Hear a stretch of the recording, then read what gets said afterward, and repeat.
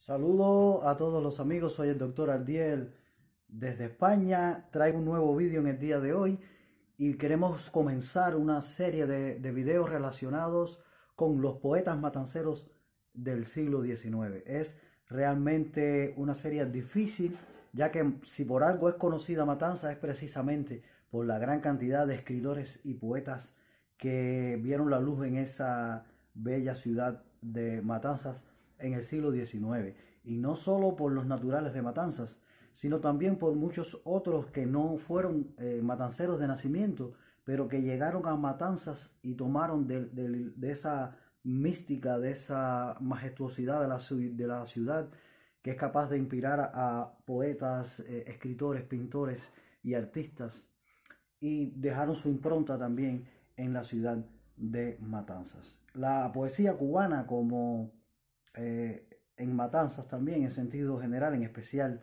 la poesía, tuvo tres movimientos fundamentales en el siglo XIX.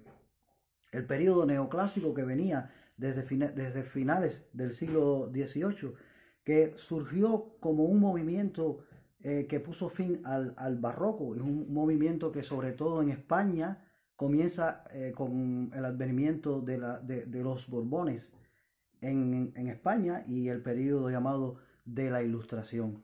Eh, como una forma de terminar con el barroco, pues comienza el periodo neoclásico y se ve también su influencia en la literatura y en la poesía. En el caso de Cuba, su representante fundamental fue Manuel de Sequeira, aunque en el caso de Matanzas, eh, creo que la poesía de Domingo del Monte puede ser eh, em, encuadrada dentro de este movimiento así como otros escritores y poetas matanceros de esas primeras décadas del siglo XIX, muy poco estudiados, como Ambrosio José García o José M. Casal, por poner eh, solo dos ejemplos.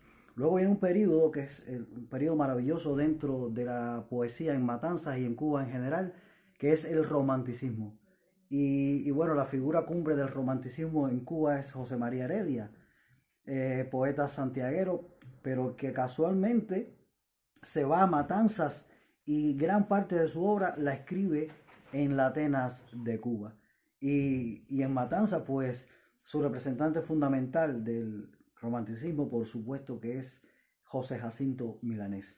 Pero también poetas como Manzano, como Plácido, poetas matanceros, eh, también se enmarcan dentro de este, dentro de este movimiento y muchos otros en todo el país Gertrudis Gómez de Avellaneda, la camagüeyana, que también se fue a vivir a Matanzas.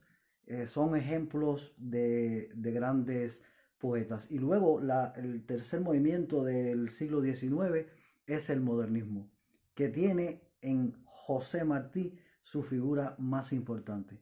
Y también, por supuesto, la figura de Julián del Casal. En el caso de Matanzas también tuvo eh, poetas modernistas y creo que los más conocidos fueron los hermanos Felipe y Carlos Urbach, que, que fueron de la mano, su mentor fue nada más y nada menos que Bonifacio Birni, considerado como uno de los primeros o el primero poeta nacional de Cuba.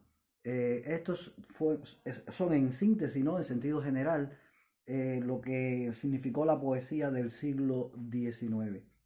Y en el caso de Matanza, pues ya hemos eh, hablado de algunos de ellos, pero también podemos eh, citar los nombres de em, Pedro José Guiteras, excelente poeta, del caso de Emilio Blanchet y muchos otros que eh, trataremos de hablar en esta serie de videos sobre la poesía matancera del siglo XIX.